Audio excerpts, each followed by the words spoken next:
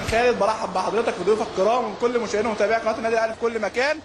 البداية اليوم وتحليق لطائرة النادي الأهلي نحو النجمة العاشرة والفوز ثلاثة مقابل لا شيء على كانون الكونغولي. ومعانا النهارده بعد الفوز كابتن حمدي الصافي المدير الفني للفريق. كابتن حمدي يعني ألف مبروك الفوز النهارده بداية قوية وإن شاء الله استعدت اللقب الحمد لله الله يبارك فيك. مباراة افتتاحية طبعا مباراة الافتتاحية بتبقى مباراة تعود على الأجواء ودخول في البطولة والحمد لله المباراة ما يعني ما كانتش مع فريق قوي قوي كانت فريق متوسط. قدرنا إن إحنا نشارك كل اللاعبات النهارده وندخلهم جوه جو البطولة ون- ونشوف استعدادات اللعيبة كلها وجاهزيتهم. إن شاء الله للمباريات القوية اللي جاية بإذن الله.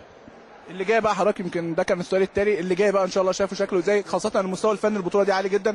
معظم الفرق اللي خدت البطولة قبل كده مشاركة معاكم السنة لا بطولة قوية. كل الأبطال السابقين اللي أحرزوا البطولة موجودين. آه، مباريات نار شغالة بالخمس أشواط وفرق كينيا بتقدم مستوى عالي. فريق تونس فريق الجزائر.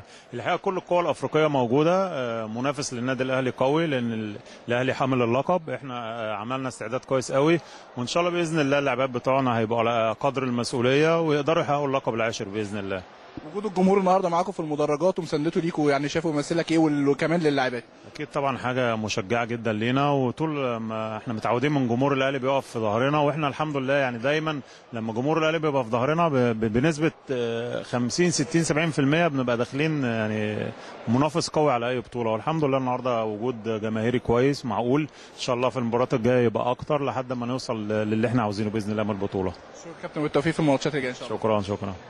كابتن خالد مستمرين معاكم في اللقاءات ومعانا أكثر من نجمة من نجمات الفريق